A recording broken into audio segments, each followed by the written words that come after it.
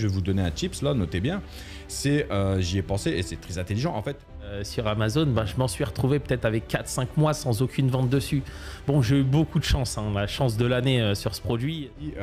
Justement, quelqu'un a envie de se lancer sur Amazon, quel, quel outil tu trouves indispensable à utiliser justement pour commencer à faire sa recherche, essayer d'analyser quel potentiel pour quel produit, pour avoir une idée tout simplement. Quelqu'un qui a envie de se lancer maintenant sur Amazon et qui n'a aucune idée. Donne-moi un produit, mais ce que vous comprenez pas, c'est qu'il y en a, ils se cassent la tête à chercher le produit gagnant, le produit gagnant, le produit gagnant. Je dis pas que c'est pas du tout important d'avoir un produit gagnant, mais Salut à tous, bienvenue dans cette vidéo. Aujourd'hui, je suis avec un invité, Ilyes, et dans cette vidéo, on va vous envoyer des tips. Et surtout, il y a une chose qui est intéressante, c'est parce que on me demande souvent sur les réseaux, e-commerce, Amazon, avoir sa boutique, dropshipping, etc. Et justement, mon invité aujourd'hui, Ilyes, c'est un vendeur Amazon. Mais pas que, dans tous les cas, on va voir ensemble son parcours et on va vous donner des tips, évidemment, comme d'habitude. Donc, restez avec nous jusqu'au bout. Ilyes, présente-toi, comment tu vas, t'es d'où, etc. Je t'en prie. Tout d'abord, euh, merci Bachir pour euh, ton invitation. C'est un honneur de participer à ce podcast avec toi et pouvoir répondre à l'ensemble des questions euh, ben, de ta communauté. Euh, pour te décrire un peu mon parcours, hein, moi j'ai fait, euh, j'ai fait pas mal d'e-commerce, que ce soit euh, du Shopify, WooCommerce ou directement avec Amazon. Ça fait combien de temps maintenant? Ça va faire exactement trois ans que j'ai lancé mon premier site. Voilà, mon premier site e-commerce. Avant ça, j'étais ingénieur commercial dans une autre vie, mais voilà. L'e-commerce, ça va faire trois ans et c'est c'est une belle aventure que, que j'aimerais partager avec toi, ta communauté et le monde de TikTok. Et justement, euh, toi, tu as commencé par quoi? Parce qu'aujourd'hui, je sais que tu m'as dit que tu étais vendeur Amazon. C'est pour ça que je me suis dit pourquoi pas faire un podcast? Ce serait pertinent pour les personnes qui me posent souvent les questions sur Amazon. Toi, tu as commencé directement avec du Amazon ou tu as commencé à faire tes propres boutiques? Quel business model? Moi, j'ai commencé par du Shopify. J'ai commencé directement par du Shopify parce que ça a été, euh, on va dire, euh, le truc le plus simple à monter. Euh, plateforme de vente en ligne. J'avais un produit, simplement, je n'avais pas d'expérience en, te- en termes de, de, de vendeur en ligne. Et bah, Shopify, c'était la plateforme la plus simple pour commencer. Voilà. Et toi, aujourd'hui, on va, on va parler évidemment du business. hein. mais toi, aujourd'hui, si je suis avec toi, c'est parce que on s'est rencontrés sur les réseaux. Tu vis aussi à Dubaï. Exactement. Pourquoi tu es venu à Dubaï Bah, Déjà, écoute, pour commencer? Très franchement, euh, je pense pour les raisons aussi euh, qui sont les tiennes, hein, le soleil, premièrement. Et puis, euh, voilà, le soleil toute l'année, ça a été une condition sine qua non à mon départ. Le business, beaucoup, beaucoup plus simple. De faire du business à Dubaï, l'argent circule beaucoup plus rapidement. Des entrepreneurs comme toi et des entrepreneurs aguerris, on peut en rencontrer à l'appel ici à Dubaï. Et puis, bah, c'est une ville en fait qui apporte toute cette sécurité. Tu vois, je suis marié, j'ai une petite fille, donc euh, voilà, quand, quand tu as deux femmes à la maison, tu as envie d'avoir une certaine sérénité quand tu sors, d'être tranquille. Et donc, euh, Dubaï, euh, comme nulle part ailleurs, ça apporte cette sécurité. Et puis, euh, dernière raison, c'est l'éducation. L'éducation pour tout ce qui est euh, école. Voilà. Tu, tu- tu peux ajouter une raison, hein, on va pas se mentir. Ouais, il n'y a pas d'impôt. Il n'y a pas d'impôt. Bien évidemment, il n'y a pas d'impôt. Mais ça, bon, voilà, on, va va dire que sans filtre ici. Hein. Ouais, non, non, non, j'ai pas l'intention de mettre des filtres et effectivement, il n'y a pas d'impôt, ça circule beaucoup plus rapidement ici. Ça marche. Et aujourd'hui, toi, tu fais euh, encore du Shopify et du Amazon ou principalement que du Amazon Bien évidemment, je fais du Shopify toujours parce que c'est non, c'est un côté Amazon, c'est bien, ça a des bons côtés, mais faut être franc. Aujourd'hui, avec Amazon, tu restes à leur merci, tu vois. Shopify, ça te permet quand même de développer une clientèle, ça te permet quand même euh, déjà de recevoir des sous beaucoup plus vite. Amazon, tu reçois à peu près sous trois semaines, tu Ah vois. ça, je savais pas ça. tu. Voilà, voilà. C'est tu reçois les sous sous trois semaines. Après avoir fait une vente, trois semaines après, tu reçois les sous. Donc euh, c'est eux qui gèrent entièrement le SAV et compagnie. Mais derrière, euh, t'as pas la main sur les clients. Tu développes pas vraiment de fichiers clients avec Amazon. Ben justement, ce qu'on va faire, c'est on va lister les avantages d'être sur Amazon. Selon toi, les avantages principaux d'être euh, Les avantages sur Amazon. principaux, les avantages principaux pour moi d'être sur Amazon. Déjà, euh, Amazon c'est une plateforme qui est super connue. Ça veut dire que tu profites de la notoriété d'Amazon pour euh, mettre en vente un produit. C'est beaucoup plus simple, tu vois? Très franchement, c'est beaucoup plus simple. Tu as juste à créer une page produit, sourcer déjà ton produit, le mettre en stock et euh, tu te lances directement sur Amazon. En plus de ça, ils ont un volume de passage qui est très, qui est énorme. Voilà. Euh, ça te permet aussi euh, d'avoir une logistique beaucoup plus simple. Tu vois, de, les envois, c'est entièrement géré par Amazon. Ils font des envois 24 heures, donc il y a une vraie plus-value. Voilà. Après, pour, on parle des avantages là aujourd'hui. Euh, tu restes maintenant par rapport aux inconvénients, tu restes à leur merci. C'est-à-dire que les clients, c'est pas tes clients. Ça reste les clients d'Amazon. Et ça, pour moi, c'est quelque chose que, on va dire, que je garde euh, en moi et je me dis, quand il y a un produit qui fonctionne bien, bah, je fais direct un Shopify derrière. C'est-à-dire que ça m'aide à tester tu sors d'Amazon. Voilà, je préfère sortir d'Amazon. C'est une vraie plus-value euh, de développer son portefeuille client, de pouvoir ensuite travailler euh, sur des nouveaux produits avec. C'est une vraie plus-value. Donc Amazon, c'est bien, mais ça a des limites. Hmm. Voilà. Et moi, je recommanderais principalement pour ceux qui se lancent de se lancer sur Shopify. Parce que euh, il y a l'une des raisons aussi qu'on n'a pas évoqué. Tu conseilles ça, mais par rapport aussi au budget. Parce que ce, que tu as oublié de dire, et ce qui est logique, c'est que si tu veux être vendeur sur Amazon, bah, ce que tu dois faire, c'est investir du stock. Énormément de stock, exactement. tu dois investir même des si ce pas énormément, il y a quand même ce côté investissement, donc forcément de rester avec des invendus. Exactement, parce que ma première expérience sur Amazon, bon, j'ai eu un produit qui a, qui a fonctionné, mais très légèrement. Mais la deuxième expérience que j'ai eue, euh, je t'avais parlé des hijabs que j'avais fait euh, sur Amazon, ben, je m'en suis retrouvé peut-être avec 4-5 mois sans aucune vente dessus.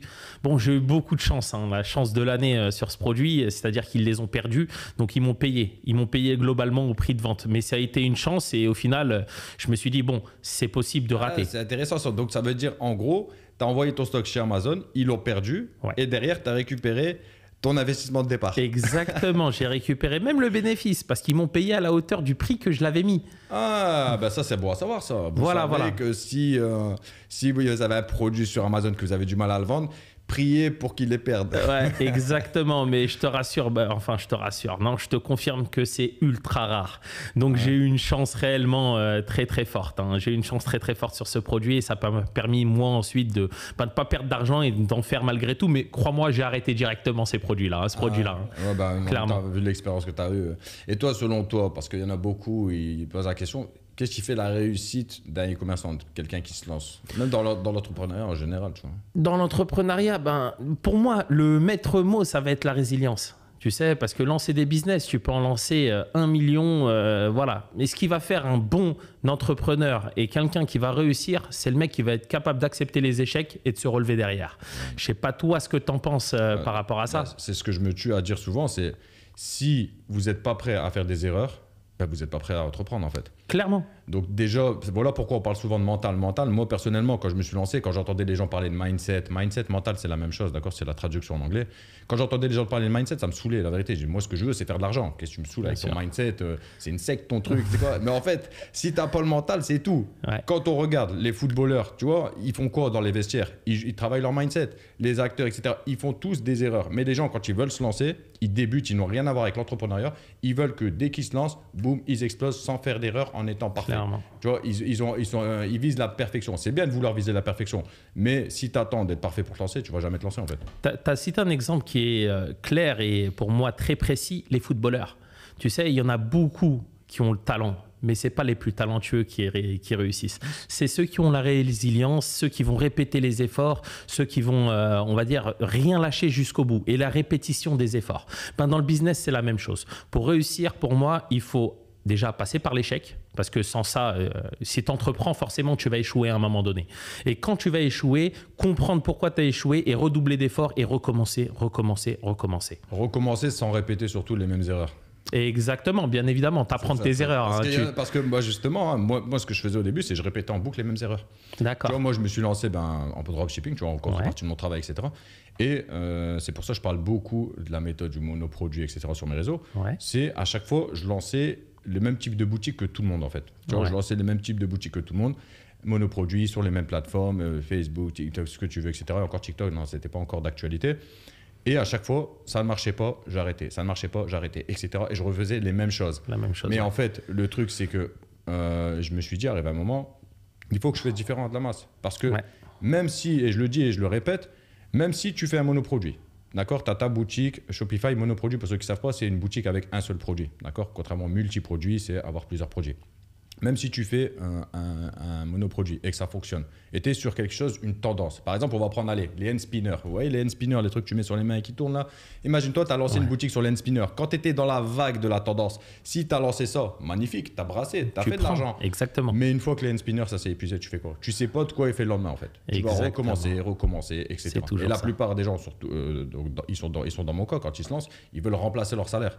Ouais. Donc si derrière tu fais de l'argent 2, 3, 4 mois et tu sais pas après développer la chose et que tu vas attendre la prochaine tendance, etc., c'est une source de stress. Pour moi, c'est pas du business. hein. Euh, je suis, d'accord, je suis d'accord avec toi. hein. Réellement, euh, c'est- très compliqué de, de se lancer dans ce sens-là.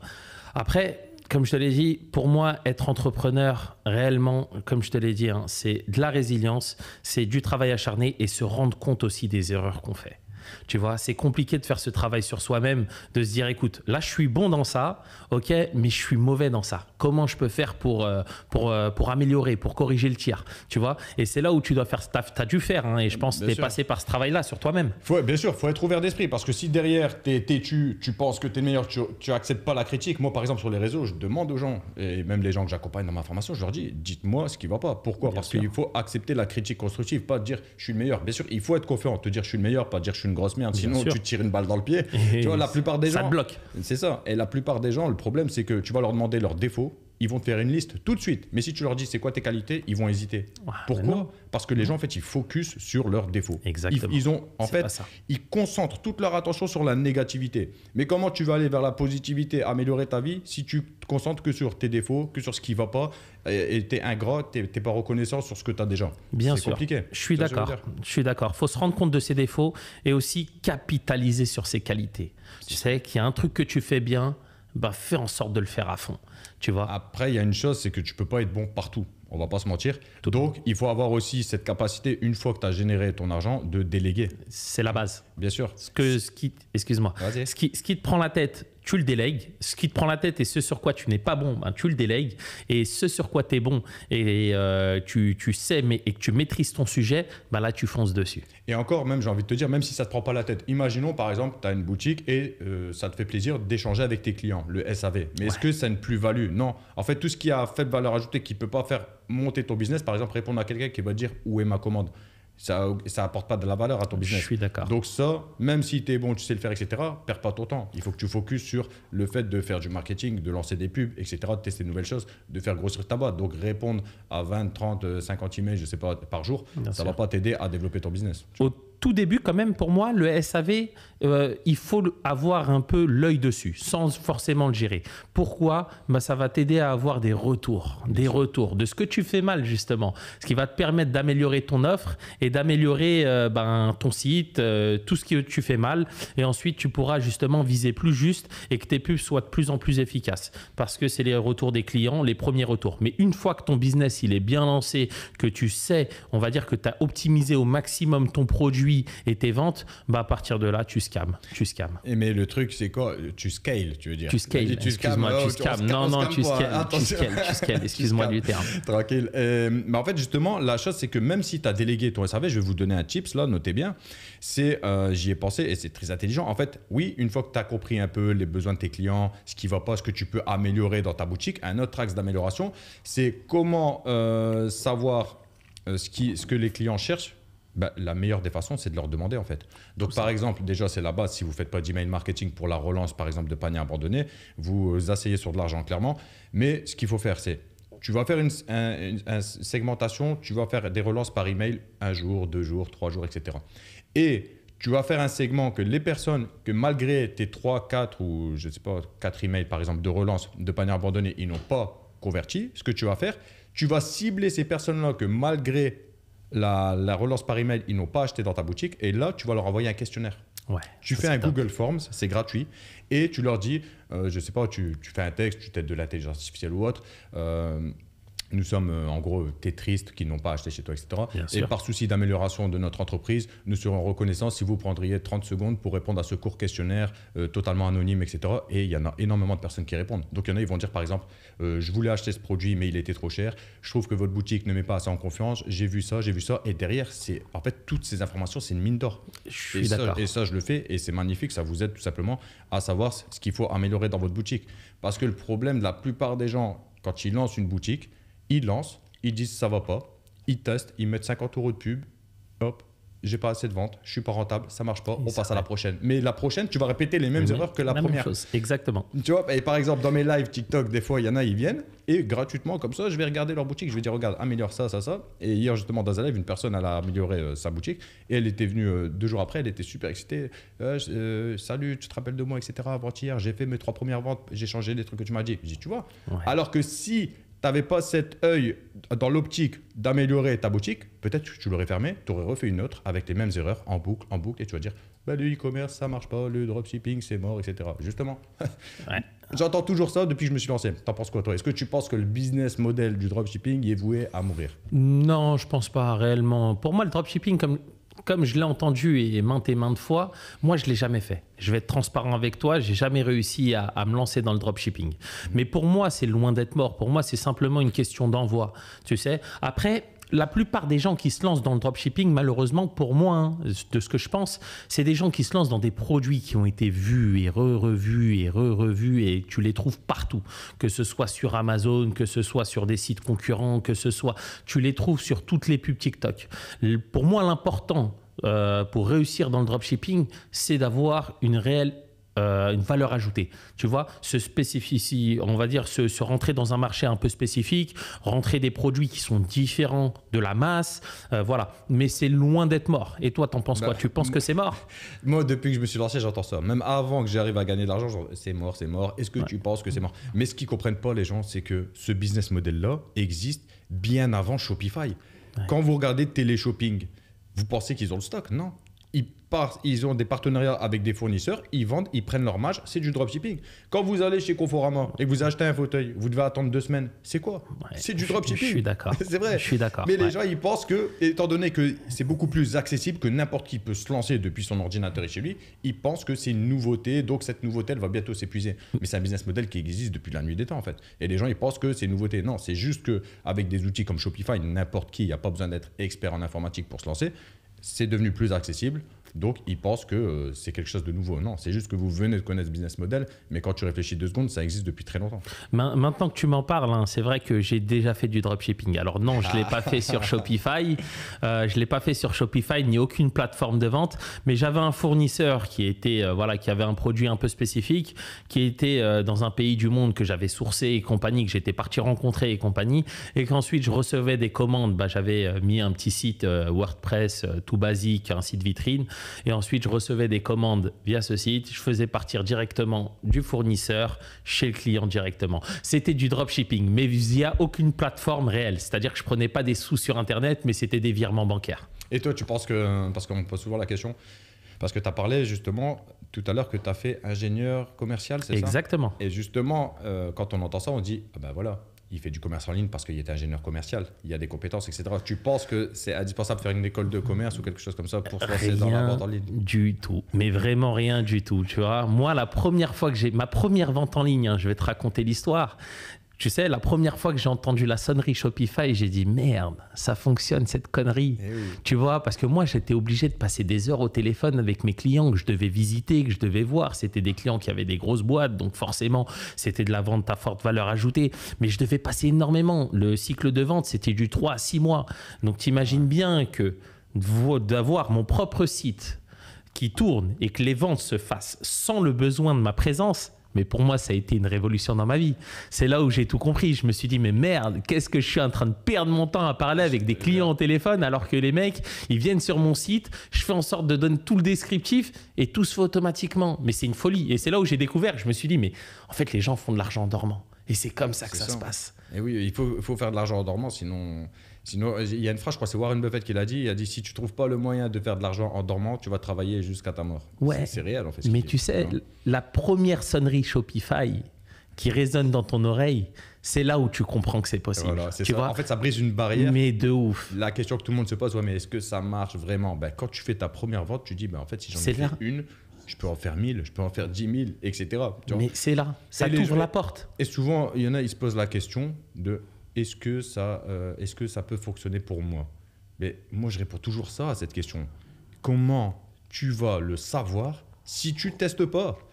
En fait, la plupart des gens, ils sont là, ils essayent pas, ils n'osent pas, ils portent pas leur, euh, leur courage. On va parler, Ouais. pro- on va parler proprement. Très calmement.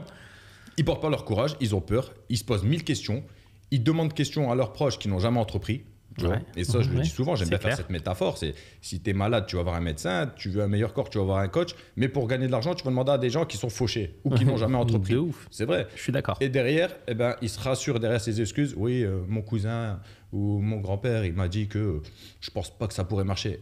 Donc, euh, tu peux pas obliger les gens à avoir la même vision que toi. Mais ça veut dire en fait leur vision négative de ton idée, de ton rêve, elle fait en sorte que ça ça ça t'a poussé à prendre une décision pour ta vie qui est négative. Tu vas même pas essayer et après tu vas laisser les années passer et tu vas regretter. Je suis d'accord. Mais je vais être transparent aussi. J'ai des amis très proches de moi qui sont extrêmement intelligents. Tu sais, qui ont le business dans la tête, qui savent exactement comment construire un business plan, qui savent exactement euh, comment sourcer des produits, utiliser la data et compagnie. Des choses que je maîtrise pas totalement ou que je maîtrisais pas totalement. Tu sais, forcé de const- bah, avec le temps, je m'y suis mis. Tu vois, mais ils sont jamais passés à l'action. Et c'est ce qui va différencier un entrepreneur justement d'un mec qui est capable de te faire des business plans. C'est l'action. Tu sais, moi j'ai été toujours un peu bête et me disant bah vas-y fais, fais, fais. J'ai toujours été pressé et eu le feu au cul euh, d'essayer les mais- choses. Mais quoi. tu as eu raison parce que c'est sur le tas que tu apprends. C'est comme ça. C'est ça. C'est comme ça. Déjà sur le tas, formez-vous. Parce que c'est vraiment super important de se former. Tu vois, c'est d'apprendre des choses et de se dire, OK, ben ça, c'est des choses que je vais garder toute ma vie. Tu vois, il y a des formateurs capables de t'apprendre, il y a des vidéos capables de t'apprendre. Après, il faut toujours essayer et ensuite se former en parallèle. Tu te formes, tu te formes et t'essayes et tu fais. Tu te formes et tu passes à l'action. Voilà, merci. Ça, c'est intéressant ce que tu dis parce que justement, en fait, le fait de chercher de l'information, c'est bien. Tu vas aller regarder sur YouTube, tu vas lire des livres, tu vas développer ton mindset, etc. Mais le problème de la plupart des gens, qu'est-ce qu'ils font?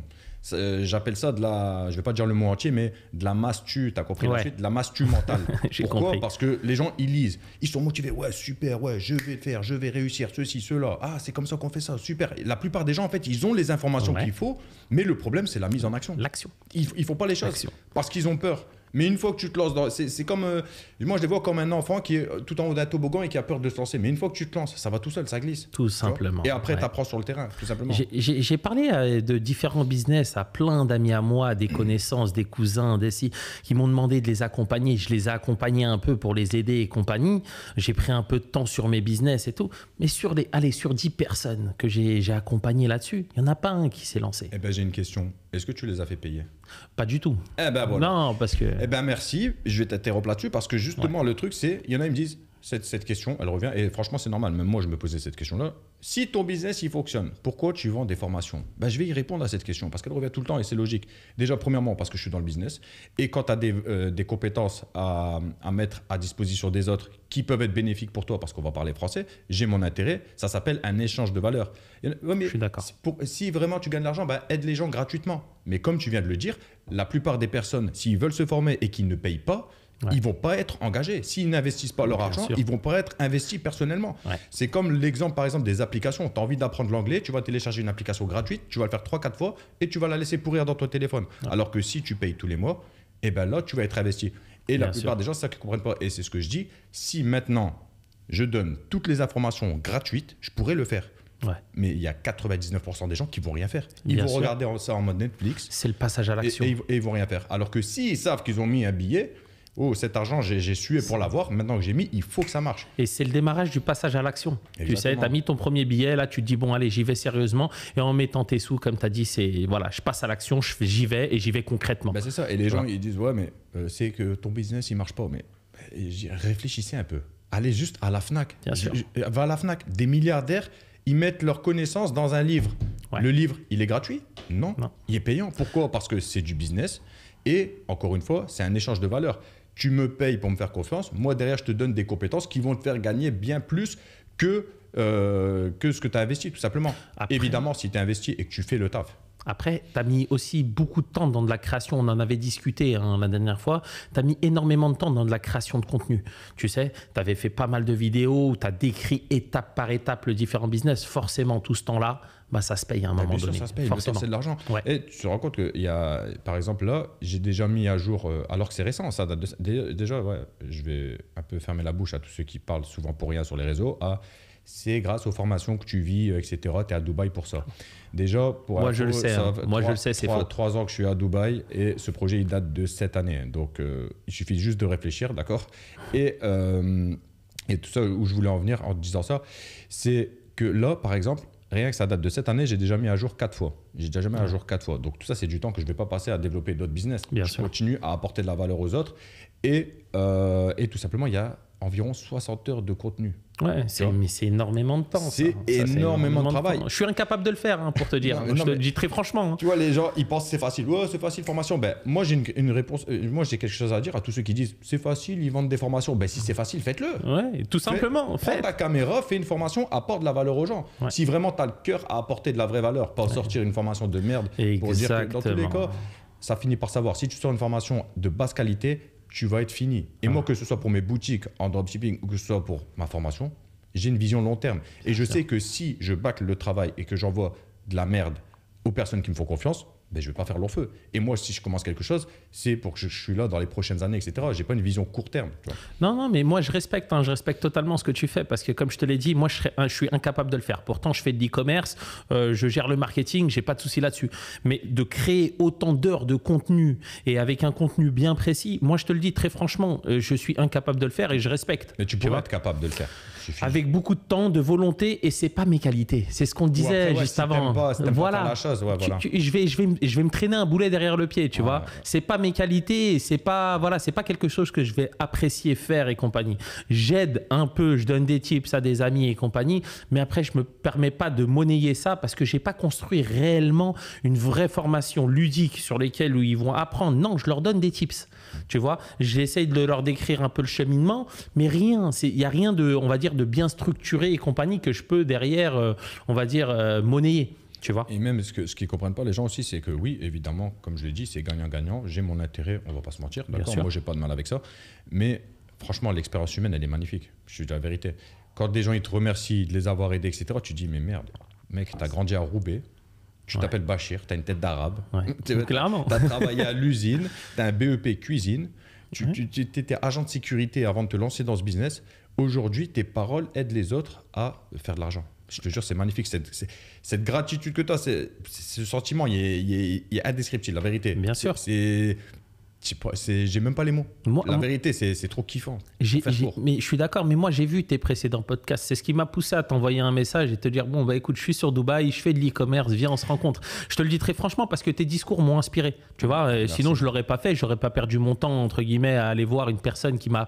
Mais à- à force de regarder ton podcast, tes différentes vidéos et compagnie, je disais mais je suis totalement d'accord avec ce que tu racontes. Donc euh, en vrai, ce serait peut-être pourquoi pas intéressant? Parce que je pense qu'on partage un peu le même quotidien dans des business différents, des marchés différents, mais on partage un peu le même euh, même quotidien. Et il y a un côté. euh, qu'est-ce que tu en penses, toi, de ce côté, entre guillemets, de fait d'entreprendre devant un ordinateur Et si tu n'es pas entouré des bonnes personnes, tu es seul dans ta chambre devant un PC Ça, c'est un côté un peu négatif. hein. Tu vois, parce qu'on parle des bons côtés de l'entrepreneuriat, tu es libre, tu fais ton argent, etc. Mais on va parler aussi des côtés négatifs. On- on- Selon les, les profils, être seul et déterminé chaque jour à passer à l'action pour ton propre business, des fois, c'est pas facile, tu vois. On en a parlé il y a 2-3 jours ensemble. hein. Ouais, c'est pour ça que tu reviens dessus. Ouais, on ouais. en a parlé il y a 2-3 jours parce que, euh, euh, comme je te disais, moi j'étais ingénieur commercial, j'étais quelqu'un qui aimait beaucoup euh, aller contacter les clients, voir un peu de monde, les partenaires et compagnie.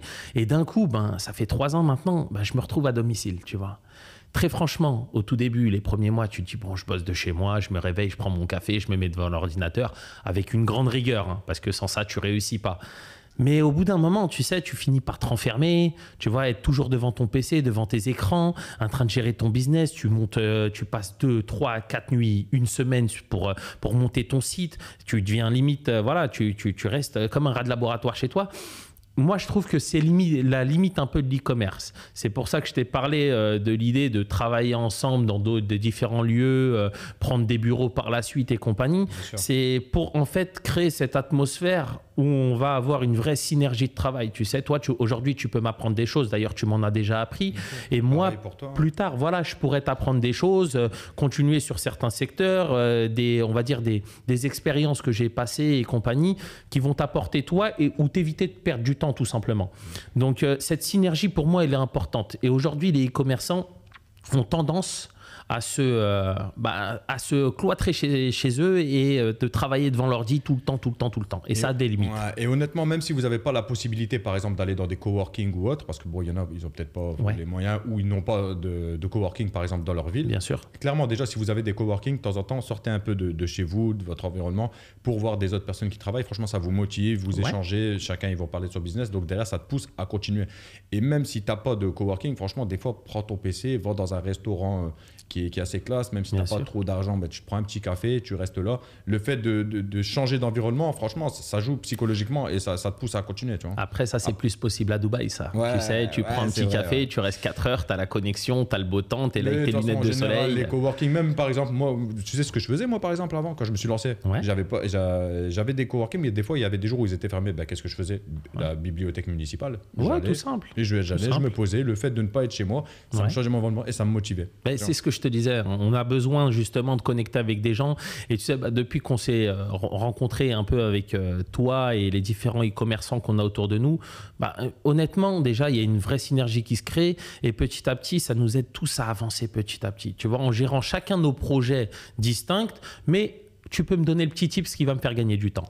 Et vice-versa. Des fois, vois. une information, elle peut tout changer. Clairement. Voilà. Et Clairement. même euh, l'information, déjà, on parle du point de vue extérieur. Après, il y a des, le petit truc virtuel. Tu sais, se mettre dans des groupes d'e-commerçants. Tu sais, ou avoir euh, un formateur, un mentor qui va t'aider à pas perdre de temps, tu vois, sur certaines étapes. Ça, c'est très important. Tu vois, Euh, éviter les erreurs que d'autres ont commis. Ça va te permettre de gagner peut-être une minute, une heure, ou sinon d'éviter de perdre ton temps sur un business. Tu sais, avoir un mentor et de se dire, bah, écoute, ouais, j'ai envie de me lancer dans ça. Tu vois, ton mentor, il a un peu plus de bagages, il a un peu plus de nez que toi. Il va dire, moi, à ta place, j'éviterais. Pourquoi? Bah, Est-ce que tu as regardé la concurrence? Est-ce que tu as regardé euh, le volume des, mo- des mots-clés? Voilà, ben là c'est très intéressant ce que tu dis. La plupart des gens, ils se lancent sur des tendances ou sur euh, le feeling. Ah, ça je le sens bien, ça. Je vais lancer ça. Ça y est, ma vie elle va changer.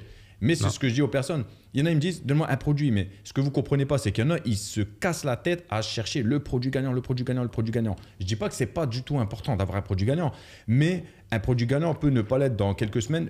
Ou la, la chose aussi à savoir, c'est c'est un ingrédient parmi la recette du succès. C'est ça Ouais, qu'ils comprennent pas les gens. ça. as le produit, c'est bien. Mais si tu as le produit et que ton site il est dégueulasse, tu vas pas faire d'argent. Mais clairement. Si tu as le produit, mais que ton site, ça va, il est propre, mais que derrière tes pubs, tu fais n'importe quoi, tu vas pas faire d'argent non plus. C'est toute une recette. Voilà, c'est une recette. Et ce qu'ils ne comprennent pas les gens, c'est qu'en général, bien sûr, tu vas trouver. Moi, personnellement, je vais pas te mentir, j'investissais pas, par exemple, pour euh, être accompagné, être formé ou autre, je cherchais des informations sur YouTube. Ah, Combien, lui, il a bien. combien de temps t'as perdu Et d'argent. Et de l'argent, bien Parce que sûr. c'est vrai qu'on parle de résultats, mais clairement, euh, d'ailleurs, je vais faire une vidéo là-dessus. Je pense que je vais, je vais montrer mes pertes parce que c'est bien beau aussi de parler de j'ai gagné, j'ai fait de l'argent, etc. Ouais. Mais je vous, je vous montrerai aussi des pertes que j'ai fait par exemple sur Google parce que, comme je dis, Google c'est magnifique, j'en parle souvent, mais euh, c'est une entreprise qui est là pour ton argent. Donc Ouais, derrière, si tu sûr. sais pas gérer bien l'outil, eh ben, ton argent elle va partir en fumée. Bien sûr. Et moi, j'ai déjà perdu des sommes. Même euh, encore euh, mois dernier, il y avait une campagne que j'avais oublié d'optimiser parce que ça, c'est une chose que je délègue pas clairement Ouais. parce que je gère bien et j'avais laissé trop tourner. Et je crois que j'ai dépensé 600 euros sur une campagne et j'avais fait, je crois, 7 ventes à, à perte totale. Mais c'est pas grave. Parce que justement, il y a une chose que les débutants, ils oublient quand ils lancent des pubs. Ils se lancent avec 20 euros, 30 euros. Ils ont dépensé 30, 40 euros. Ah, j'ai pas fait de vente, ça marche pas, je coupe. Mais ce que vous comprenez pas, c'est que quand vous payez les régies publicitaires, il se passe quoi? Tu es en train de payer l'algorithme de Google, par exemple, ou de Bien sûr. Facebook, etc., pour qu'il va à la chasse. Il va, il, va, il va pêcher, il va aller voir où est le bon client. Ouais. Et une fois que tu as payé, que tu commences à faire des ventes, même si tu n'es pas encore rentable, derrière, l'algorithme, il va savoir où il faut aller viser pour avoir les bons clients. Donc Bien derrière, c'est à toi de regarder après tes datas pour voir quel type de client est très rentable. Et derrière, tu vas miser que sur que ceux sur qui tu es très rentable. Et après, de là, tu passes du négatif au positif, tout simplement. L'algorithme de Google, il est très très fort pour ça. C'est pas le plus puissant, hein, comme le, le plus connu et compagnie, mais même moi, hein, personnellement, j'ai En fait- Google Ads, c'est Google Ads. Pour moi, faut pas toucher à mon Google Ads. tu Même vois pour la rentabilité long terme, etc. Clairement. Et pourquoi Google Ads aussi? Pourquoi? Parce que tout simplement, moi, comme je dis aux gens, tu réponds aux besoins des clients. Bien sûr. Les Ils gens, quand ils cherchent chercher. quelque chose, ils vont où? Ils vont sur Google. Tout simple. Facebook, TikTok, etc., les gens ils sont là pour se divertir. Bien C'est sûr. vrai. Ben, il suffit de regarder, tu vois. Mes lives, quand on parle business, euh, si on est 200, 300 maximum, c'est bien. Alors que les, les- les lives où les gens ils sont en train de danser, ben, il y a des milliers de personnes. Donc derrière, euh, moi, je vais où les gens recherchent le produit. Je dis pas que c'est impossible de vendre sur les plateformes comme TikTok, Facebook, etc. C'est possible. Sinon, les- plus personne ferait de la pub dessus. Mais clairement, le, le- le prospect, la personne, elle est bien plus apte à sortir sa carte bleue sur Google parce qu'elle est déjà dans un optique d'achat. Bien sûr. Donc voilà pourquoi je me suis beaucoup intéressé à Google. Et aussi, il y a ce côté confidentialité. Par exemple, les outils d'espionnage comme Mineo, PP Ads, euh, AdSpy, etc. Pour ceux qui ne connaissent pas, en fait, c'est tout simplement des, des sites internet qui vont te dire quelle pub est en train de carto- cartonner sur quelle régie publicitaire. Mais pour Google Ads, ils ne le disent pas. Ils savent pas. Mais oui, qui Qui a envie d'être exposé à ses concurrents directs? Pas grand monde. Moi, personnellement, ça m'intéresse pas. Voilà Je pourquoi euh, je fais quand même un peu de pub sur les autres plateformes, mais majoritairement, c'est Google Ads. Ouais, le client vient de chercher. De toute façon, Voilà. c'est ça. Il vient chercher un produit dont il a besoin. Donc, euh, ouais, pour moi, Google Ads, c'est le top du top. Et il faut travailler, euh, faut travailler aussi un minimum sur réfé- référencement naturel parce que sinon, si tu travailles mal, en fait, c'est ça aussi que les gens ils ont mal compris, c'est sur Google Ads, en fait, si tu travailles pas un minimum ton référencement, eh ben, il y a la note de qualité qui rentre en compte. C'est-à-dire que un- quelqu'un qui va venir, il va mettre 40 euros par jour de budget publicité, euh, publicitaire, eh ben, toi, tu vas venir et tu vas mettre 20 euros, donc tu as mis beaucoup moins que lui. Mais si, en fait, la note de qualité, elle est supérieure à la personne qui a mis 40 euros, eh ben, tu vas être plus mis en avant que lui, malgré son Je budget. suis d'accord. Parce que, euh, en fait, Google, il cherche la pertinence. Donc, si derrière, tu te positionnes, par exemple, sur un mot-clé, euh, je dis au hasard, euh, je sais pas, euh, euh, Samsung S23, eh ben, tu vas. et que dans, dans ta fiche produit, par exemple, tu vas, tu vas écrire coque pour smartphone et il y a- écrit nulle part Samsung S23, etc. Bref, tu travailles pas ton, ton, ton champ sémantique, et ben derrière, tu vas être moins mis en avant qu'une personne qui a mis moins de budget que toi. Et ça, Ouais. c'est à savoir. J'ai- une question pour toi. Ouais. as combien de campagnes Google Ads à ton actif? Euh, franchement, je- euh, la vérité, je ne saurais pas dire un chiffre. Ouais. Mais, Mais- avant de devenir bon, t'en as fait quand même pas mal. hein. Ah, ah, euh, ouais, ouais, j'en ai fait, franchement, j'en ai fait plein. Franchement, de, de dire, mais en fait, attention, justement, ça me pose la question aussi, est-ce que tu fais une campagne par produit? Parce que tu parles de multi-produits. Non, je fais pas une campagne par produit. Par exemple, si tu fais sur le réseau shopping, tu peux très bien, par exemple, mettre une catégorie de produits, c'est bien de mettre avec un ROI cible. euh, assez similaire, d'accord Ouais. Et tu vas lancer par exemple 10 produits directement dans une campagne shopping. Ou tu vas lancer par exemple une dynamic search, c'est-à-dire sur les réseaux de recherche, là où, où le texte est écrit, et ben tu vas lancer pour que tout simplement quand quelqu'un tape un mot-clé en rapport avec ce que tu vends, et ben ça s'affiche. Donc tu n'es pas obligé de faire une campagne par produit, sinon imagine-toi si tu as 70 Ingérable. produits, tu vas lancer 70 campagnes, c'est pas la peine, en vérité. Et Ouais. aussi, je conseille, excuse-moi, vas-y. Ouais, vas-y. Non, moi, je vais, je, vais, je, vais, je vais changer de sujet parce que là, j'ai un truc qui me vient en tête depuis, depuis quelques temps là et j'aimerais que tu m'en parles un peu, tu vois. Vas-y, dis-moi. TikTok Shop. Est-ce que tu penses que ça va tuer le dropshipping ou pas? On me pose eh, cette question, elle n'arrête pas de revenir. Mais ça va rien tuer du tout. Parce que c'est simple, il suffit de regarder. Pour l'instant, il n'est pas encore en France, par exemple. Bon, on dit la France, mais n'oubliez pas que le e-commerce, déjà, c'est mondial. Mais on va parler de la France, parce qu'en général, c'est les francophones qui nous regardent. Euh, en France, TikTok Shop n'est pas encore là. Non. Mais il est déjà présent en Amérique. Eh bien, c'est simple. TikTok Shop en Amérique, il y en a, ils font des milliers, des millions, etc. J'ai vu ça. Ah, mais justement, mais va regarder les sites en dropshipping sur Shopify. Est-ce qu'ils ne continuent pas à brasser? Ouais. Ils continuent Ils à faire continuent, de- leur argent. Bien sûr. Donc, ça va rien tuer du tout. Et aussi, une autre chose. TikTok, dans le monde, c'est, euh, il me semble, un milliard, je crois, d'utilisateurs. C'est énorme. C'est un truc de ouf. Mais il faut pas oublier qu'on est plus de 80 milliards sur cette planète. Ouais, c'est. Donc juste ça, ça va jamais tuer en fait. À chaque fois, on parle de est-ce que TikTok Shop, est-ce que Temu, est-ce que Wish, est-ce que ceci, à chaque fois, mais On est, on est Y a 6 milliards sur cette planète. 6 milliards. 80 millions en France, 6 milliards Ah ouais, sur non, cette ouais, planète. 80 millions, ouais, j'ai confondu, ouais, 6 milliards, j'ai dit 80 milliards. Ouais, ouais, 80 Non, mais millions voilà. en France. Donc euh, 6 milliards sur la planète. Ouais, Et, euh, ça fait un sixième quand même qui consomme du TikTok. hein. C'est énorme. hein. et pareil, j'ai envie de te dire, tous tous les produits qui existent ne vont pas être forcément adaptés ou adaptables, par exemple, à TikTok. Clairement, bien Parce que sûr. clairement, si tu fais du TikTok Shop, il va falloir faire quelque chose qui touche la masse ou si tu es super niché, ben aller euh, taper dans. les- Ça, ça, par contre, c'est pas mal. Ce qu'ils font, c'est que les créateurs de contenu, ils peuvent faire de l'affiliation, ils sont payés à la commission. Donc ça, c'est top. Ouais, ça, c'est ouf. Ça, Ça, c'est vraiment franchement, bon pas mal. Ouais. Donc, moi, à la rigueur, je dirais de. C'est pas mal de s'y intéresser, mais clairement, déjà, il y a des conditions. hein. Si vous voulez faire euh, en, en mode de dropshipping, TikTok Shop, euh, livraison en 10 jours ou 15 jours, tu vas pas pouvoir. Ouais. Parce qu'ils ont des conditions. Ils vont te bloquer, je pense, à un Ils moment vont te donné. bloquer, donc à un moment, il faut que, il faut que la livraison elle est assez rapide.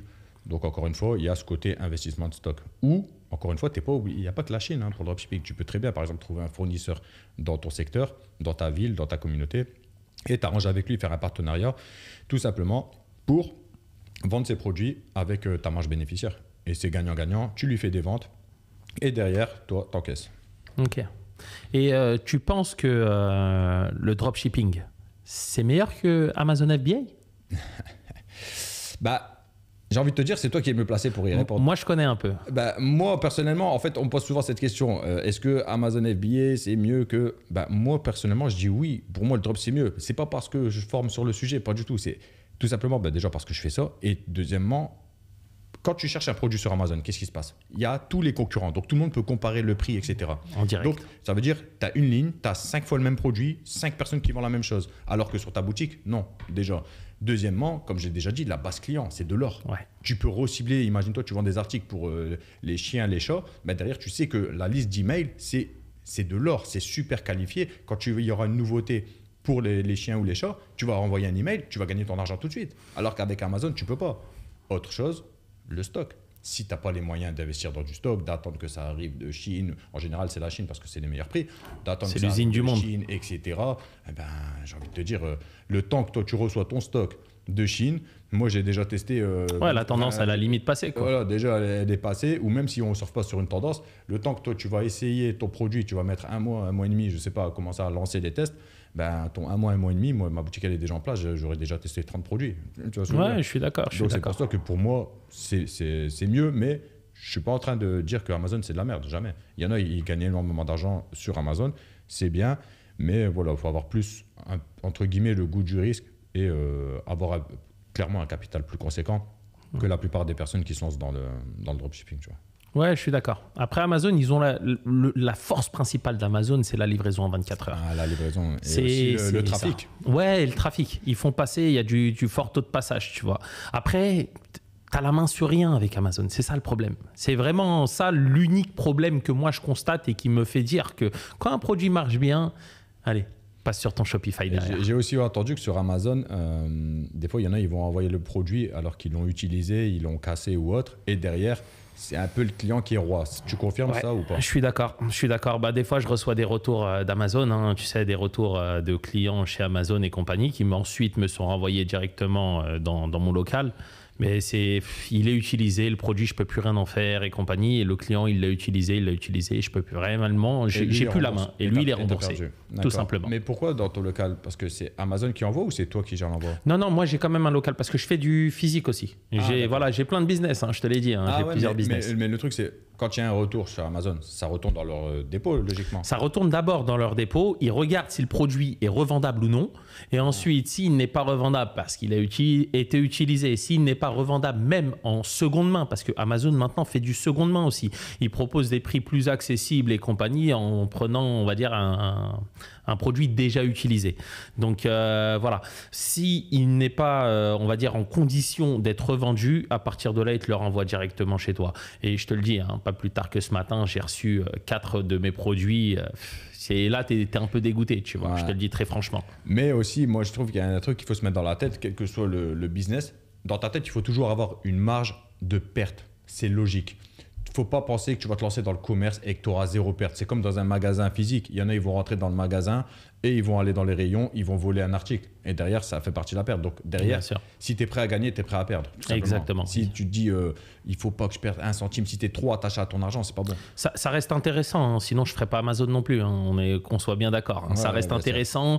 Euh, Il y a quand même, on va dire, des, des bonnes qualités. Le, le fait de gérer un peu la logistique. Ok, j'investis dans des stocks, la mise en place pour leur envoyer. Des fois, ils mettent parfois deux à trois semaines à les, à les- à les rendre actifs. Euh, voilà. Mais ça, quand même, ça génère un volume de vente, ça génère quand même euh, certains revenus. Et des fois, je vais être transparent aussi, des clients, des, des produits qui n'ont pas marché sur Shopify, eh ben, ont marché sur Amazon parce qu'ils ont rencontré leur clientèle sur Amazon. Après, moi, je dirais toujours, quand un produit marche sur Amazon, va sur Shopify et fonce. Sinon, j'ai entendu que Amazon, ils peuvent s'amuser à euh, te piquer en fait ton idée du produit quand tu vois qu'il cartonne. C'est une folie. Mais ça, c'est même pas que Amazon. Parce que je vais te dire, aujourd'hui, il y a des logiciels comme Jungle Scout et Lium 10 qui traquent tes produits. Alors oui, tu peux, via certaines combines, les masquer et compagnie, mais ils traquent tes produits. Ils déclarent le nombre de ventes, ton chiffre d'affaires, ton limite ton bénéfice. Ah mais bah, c'est une folie. bah, c'est intéressant ce que tu dis là. Si euh, justement quelqu'un a envie de se lancer sur Amazon, quel outil tu trouves indispensable à utiliser justement pour commencer à faire sa recherche, essayer euh, d'analyser quel potentiel pour quel produit, pour avoir une idée tout simplement. Quelqu'un qui a envie de se lancer maintenant sur Amazon et qui n'a aucune idée. Quel Jungle. tu lui conseilles Jungle Scout directement. Jungle Scout, pourquoi? Parce que c'est c'est toute la data d'Amazon. Ça va t'aider, entre guillemets, à, à sourcer tes produits. Moi, je source pas mes produits via ça parce que j'utilise, on va dire, j'utilise très très mal la data qu'ils vont me donner. Par contre, lorsque j'ai une idée, lorsque j'ai un peu, on va dire, mon flair d'entrepreneur, je vais le valider par de la data. Tu vois, je vais taper euh, les mots-clés, je vais voir le volume des mots-clés, ensuite je vais voir les annonces des concurrents, s'il y en a, s'il y en a, combien ils font, combien sont-ils, euh, qu'est-ce qu'ils ont fait comme annonce, qu'est-ce qui a amélioré dans leur annonce. Il y a plein de choses à voir. Mais forcément, il faut que tes idées, ton flair soient validées par de la data. C'est comme un peu pour Shopify et Google. Forcément, tu vas pas te lancer à l'improviste, tu vas regarder un peu euh, les, euh, les, les- comment dire, les volumes des mots-clés, tu vas regarder un peu sur SEMrush qui est un outil aussi que j'utilise. Euh, je pense que toi aussi, hein, on Ouais, Je l'utilise n'utilise pas beaucoup la vérité. Ah, SEMrush, non Moi- Pas du tout j'utilise- euh, euh, de temps en temps, mais moi la vérité, je me pose, je regarde sur Google Ads les- les- la recherche de mots-clés Ouais. et aussi sur Google Trends. SEMrush, hein, je, je l'ai redécouvert il y a trois mois. Honnêtement, c'est top. C'est Non, pas mal. SEMrush, c'est du lourd. C'est pas mal. Bon, il y a un peu cher, mais bon, il y a toujours moyen de trouver un peu moins cher. On sait très bien. On a des combines. Voilà, il y a des combines. Voilà. Mais euh, je sais que c'est un défaut, ça. Tu vois Moi, Ouais. je reconnais, mais des fois, je sais que je l'utilise pas assez, clairement. Alors que je sais que cet outil, c'est un très bon outil. Mais après, j'ai envie de te dire, euh, le, le but de la vie, c'est d'évoluer. Donc, je sais que euh, moi, je reconnais des fois mes erreurs, des choses que je fais pas assez. Et ben, tout simplement, il suffit de rectifier le tir et de s'améliorer. Simplement. On va parler un peu des erreurs, justement. Pour toi, quel est ton plus gros flop dans l'e-commerce? Et comment comment bah, comment t'as pris le temps de t'en remettre? Comment ça t'as réussi à rebondir après ça? Mon plus gros flop dans le e-commerce, c'est les influenceurs. Ah, ouais. Ah là, clairement. Ah, les influx Ah, voleurs. Les influenceurs, Ah, les influx voleurs, entre guillemets. Non, c'est pas des voleurs. C'est, en fait, je pense que les influenceurs, ils ont été salis. Euh, ils sont un peu, c'est un peu des victimes. Bon, il y en a, c'est pas des victimes. Il y en a clairement, ils savent ce qu'ils font, mais il y en a beaucoup qui se sont fait avoir. Par exemple, euh, quel que soit le business, il y en a ils disent le dropshipping c'est une arnaque. Mais non, quel que soit le business, il y a toujours des personnes mal intentionnées. Donc, il y a des influenceurs que tout simplement, ils, ils ont fait affaire avec des e-commerçants qui n'étaient pas honnêtes, qui ont fait des fausses sociétés, qui n'envoyaient jamais des produits, etc. Mais moi, c'était pas mon cas. Tout le monde était livré, etc. Mais le problème, c'est que j'ai fait des partenariats. Ben, J'étais passé par Shona Event. Et, et, euh, tout simplement, j'avais payé des influenceurs, des fois 4000 euros le placement de produit. Et en fait, le placement était mal fait. Et malgré que je réclamais, etc., eh ben, euh, ils jugeaient. S'ils jugeaient que le travail a été bien fait, eh ben, c'était bon, euh, il n'y avait plus à refaire. Mais quand tu réfléchis, 4000 euros pour l'équivalent de 2-3 minutes, même pas 2 minutes de vidéo avec ton smartphone comme ça. Tu es payé 4000 euros. Même si tu prends la moitié, 2000 euros, c'est énorme. Donc ça veut dire si maintenant, le but c'est d'être gagnant-gagnant, le, le commerçant il t'a donné 4000 euros, il n'est pas satisfait, il n'a pas fait assez de ventes. Et j'avais fait, genre, je crois, 6 ventes, je crois, le truc, tu vois. Et je dis, regarde, les codes de promo utilisés, euh, voilà, il y a moyen de peut-être faire une relance, euh, peut-être que l'heure, c'était pas assez, etc. Non. Rien. Mais qu'est-ce que ça te fait, putain, de prendre ton téléphone, de refaire deux minutes pour que le commerçant il essaye d'être un minimum, au moins récupérer son argent, même si je suis pas rentable, au moins que je suis break-even, c'est-à-dire récupérer mon, mon argent? Eh ben non. Et ça, j'ai répété l'erreur plusieurs fois. Après, je me suis dit, bon, c'était peut-être un peu trop cher, etc. Et en fait, des fois, les 1500 euros par-ci, 2000 euros par-là, j'ai perdu énormément d'argent avec les influenceurs. Et Tu- c'est- Tu, tu, parles à un mec qui a une très grande histoire avec les influenceurs. Ah ouais Ah ouais, ouais, ouais. Autant certains, ça s'est super bien passé. Tu sais, on, ils, ça, ils comprenaient un peu le business. Donc quand je leur parlais rentabilité, je leur exposais mes taux de marge, je leur exposais exactement combien ils me rapportaient. On a réussi à négocier des belles choses avec des partenariats sur le long terme et compagnie. Autant ça s'est très bien passé. Autant certains, ben, pour la première pub, ils me demandaient des sommes mais astronomiques. Il y en a, euh, bon, qui étaient un peu moins connus. Euh, je vais te raconter l'histoire d'une personne. Euh, je vais, donc je tairai le nom Hein, bien évidemment, que soit le positif ou le négatif, je ne vais pas trop en parler au niveau des noms. Euh, il me demandait 500 euh, euros pour euh, la pub Snapchat.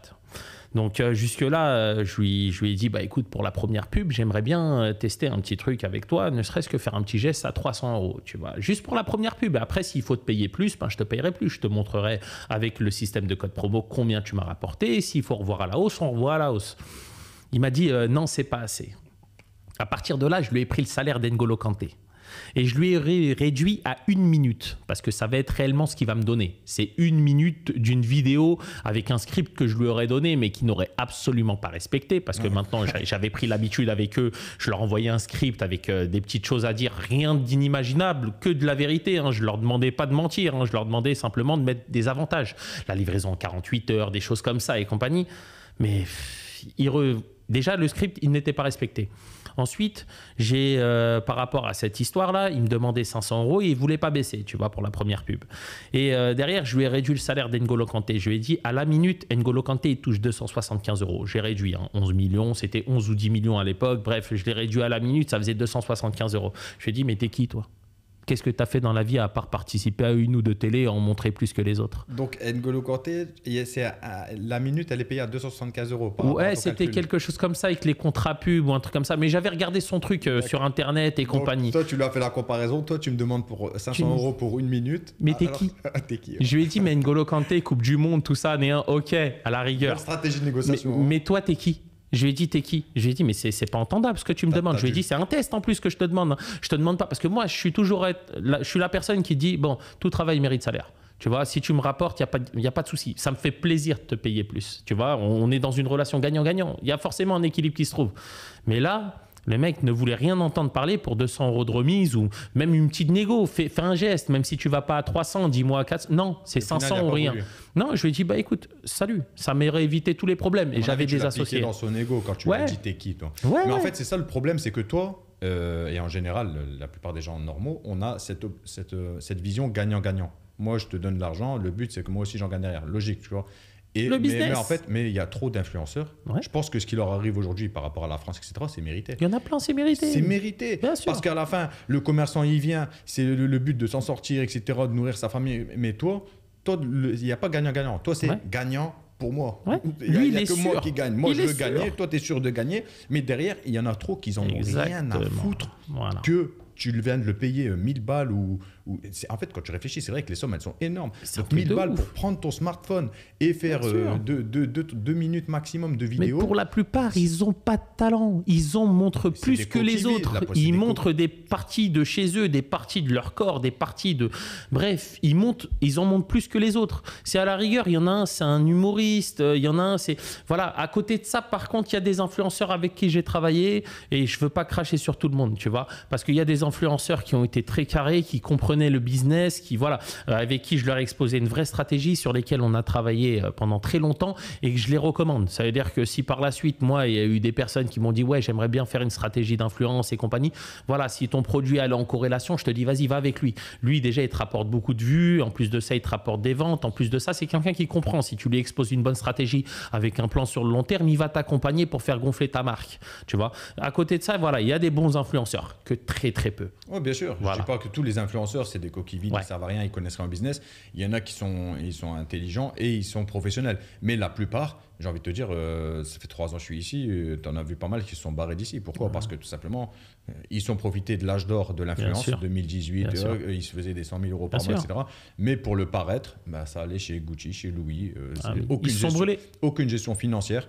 Et à la fin, quand la réalité les a rattrapés, ben, ils n'ont pas eu le choix que de se barrer, tout simplement. Et quand tu n'as pas de talent, un jour, un jour, ça se sert. Mais bien sûr. Tout simplement. Comme il y en a beaucoup qui rêvent d'être influenceurs, mais pareil, ça pour moi, c'est pas un business stable sur le long terme. Parce que tu dépends des marques qui vont donner de la pub, etc. Donc, euh, bon, oui, il y a la monétisation, TikTok, etc. Mais en général, c'est pas super stable, tu vois. Bien sûr. Dépendre de placement de produits, euh, tu tiens sur un fil, en fait. Bien sûr, à part si tu as un talent. Voilà. Si tu as un talent que tu mets en avant, tu fais rire les gens, euh, tu conseilles les gens. euh, voilà, il faut avoir une ligne de conduite, tu sais, avoir une communauté que tu vas développer, que tu vas orienter avec, qui va te suivre et ça va être un vrai, un vrai noyau dur et qui va durer sur le temps. Mais si tu n'as pas de talent et que tu veux te lancer dans de l'influence, laisse tomber. Moi, clairement, si je serais influenceur, je prendrais l'adresse email de, euh, de, mes, de mes followers. Comme ça, je sais que si demain ton compte il saute, il est piraté ou autre, Voilà. un, un email, tu récupères tout le monde. Inscrivez-vous, tac, tac, et puis hop là, ma base de données, elle est là. C'est très C'est important. très la plupart, ils ne le font même pas. Dès qu'ils perdent leur compte, c'est fini. Dès qu'ils perdent leur compte, euh, ils sont en train de pleurer, euh, ils demandent la force à l'un, à l'autre, qu'après ils les calculent plus parce qu'ils se disent bah, je, vais, te donner la force, mais tu vas me rapporter quoi? La, plupart des gens, c'est ça. C'est par intérêt. Tu vois Et les influenceurs, généralement aussi, ils pensent que ce sont des très bons businessmen parce qu'ils font de l'oseille. Ah, c'est ça. Tu vois Des fois, il y en a, l'argent leur fait gonfler la tête. Ouais. Tu vois Parce Les- qu'ils ont la communauté. Donc eux, ils lancent un produit avec un site tout merdique, un produit tout merdique. Et ils ont même pas fait de l'effort, de la mise en page, même pas fait d'effort de la, voilà, de, de, de, de commander une fois le produit, de voir, de le tester et compagnie. Euh, vraiment, tu vois quelque chose de, de poussé. Et derrière, ils vont vendre. Donc forcément, ils pensent que c'est des businessmen. Mais derrière, il y a plein, plein de leurs projets qui lancent et qui s'effondrent. Tu vois Les réseaux sociaux, de toute façon, ça a monté la tête à trop de personnes. Il y en a, ils disent, euh, tu vois, on me dit souvent, qu'est-ce que tu penses des, des réseaux sociaux, etc., depuis que tu t'es lancé? Franchement, moi, je dis, euh, Ouais. les réseaux sociaux, c'est pas fait pour tout le monde. Parce que si mentalement, t'es pas prêt à recevoir une vague de haine, ne te mets pas sur les réseaux. Il y en a, si tu es fragile, va pas sur les réseaux sociaux. Moi, par exemple, je reçois des fois, on m'invente une vie dans les commentaires, dans mes lives, etc. Mais comment j'en ai rien à foutre, franchement. Ça, à partir du moment où j'en ai eu rien à foutre de ce que les gens pensent de moi, mais putain, comment je suis beaucoup mieux dans ma vie. Parce qu'avant, j'avais quand même ce petit côté de ce que les gens y pensent, etc. Mais aujourd'hui, j'en ai rien à foutre. C'est pas les gens qui vont remplir ton frigo quand tu es dans la merde. Il y a personne à part, à part tes parents qui vont te tendre la main ou de la famille. Et encore, la famille, ça dépend quelle famille. Mais en général, les gens, c'est qui en fait? Tu vois? Ouais. Là, ta vie, elle est courte. Il n'y a que la famille proche qui va t'aider, mais très très proche. mais qu'est-ce que tu en as à foutre de ce que les autres vont penser en fait? Moi, il y en a, ils pensent qu'avec leurs euh, commentaires haineux, etc., ils vont m'éteindre. Mais tu vas rien éteindre du tout. Moi, je sais d'où je viens. Je, je sais d'où je viens, je sais où je suis, je sais où je vais aller. Donc derrière, tu peux dire ce que tu veux sur moi. Insulte-moi, mais ma famille, ce que tu veux, ça ne m'atteint pas. Et justement, ce que je dis, c'est la plupart des haters sur les réseaux, c'est quoi en fait? C'est des personnes, en fait, leur vie, elle doit puer. À quel moment tu vas dire, je vais prendre mon téléphone et je vais aller insulter quelqu'un qui est dans un live? C'est la ta vie, frustration. ta vie, elle doit être, elle, elle doit être dégueulasse en fait. tu Ouais. vois? Donc derrière, ils se sentent seuls et ils ont besoin d'attention. Donc leur, leur seule façon, euh, leur seule façon en fait d'avoir de l'attention, c'est d'aller tout simplement provoquer des gens. Comme ça, tu vas lire leur pseudo, tu vas leur répondre et ils vont se sentir vivre. Mais moi, des fois, on me dit bloque les haters. Mais non. Vous n'avez pas compris. Merci les haters. Vous me donnez de la force parce que vous commentez. Et si vous commentez, vous faites de l'interaction dans mes réseaux. Donc derrière, c'est un bon, un bon point pour l'algorithme. Et ils savent pas, ils savent pas par quel sacrifice tu as dû passer pour en arriver là. hein. Mais oui, mais, laisse. mais c'est pour ça que moi, derrière, euh, continue à parler. Euh, merci. Donnez-moi donnez les hasanettes aussi. Pour Exactement. ceux qui comprennent, comprendra qui pourra. Même ceux, qui, ceux, ceux qui parlent mal sur moi, mais c'est tout bénéf pour moi. Moi, c'est pas Ouais. grave. Allez-y, continuez. Tu vois? Et, bon, et toi, euh, un- une dernière question, parce qu'on va bientôt se laisser. Euh, si tu devrais donner un conseil pour une personne qui voudrait se lancer, bah, allez, vu que c'est ton, vu que c'est ton, ton, ton activité, qui voudrait se lancer sur Amazon, un seul conseil. Un seul conseil, déjà, c'est passe à l'action.